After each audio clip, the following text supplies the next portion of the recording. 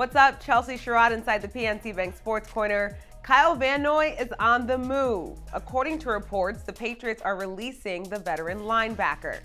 This being the Pats' first major move of the offseason. Releasing Van Noy frees up just under $5 million of cap space for New England, who entered the week with just $10 million in available cap space, which isn't nearly enough to satisfy their needs in the draft and free agency. Van Noy played 75% of the defensive snaps and finished the season with 66 tackles, 5 sacks, 10 passes defended, and a pick six.